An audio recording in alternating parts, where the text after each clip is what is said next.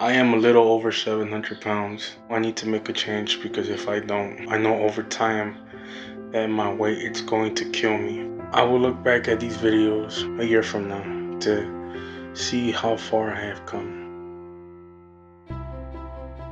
Part of me is doubtful and scared, while the other part of me is anxious and hopeful. And I know in order to reach my goals, I have to get rid of that doubt.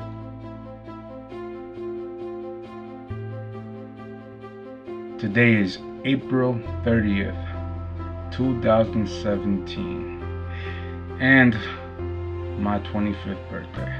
A year ago, I recorded my first video, and at that time, I hit this new time low in my life where I just felt lost and honestly, a big part of me just wanted to say, it's enough, I'm done. Just wanted to give up on life, on everything. It's a year later now. And I stand here happy and proud to say that within a year, I have lost 86 pounds. I started at my heaviest was 700 pounds and now I weigh 614 pounds. The first day I hit the gym, I was super scared. I walked in there and I was like, man, people are gonna judge me. I'm the biggest guy in the room. They're just gonna look at me. They're probably gonna laugh. Me thinking they were gonna judge me. They were gonna laugh at me.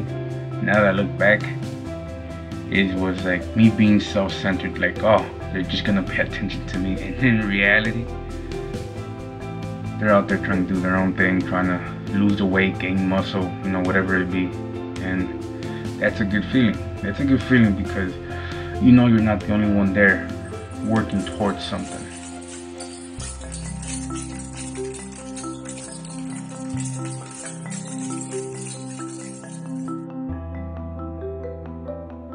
The journey has showed me a side of myself that I didn't know I had. You know, and it wasn't easy one of the biggest changes was the way I eat. I grew up eating fast foods. I made a complete 360 on my diet.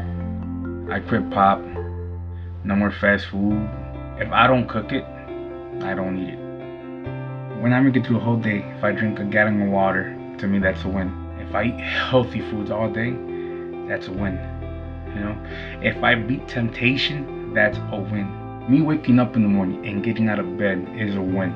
If you look at the person I am now and then take a look at the person I was back then, I am two completely different people.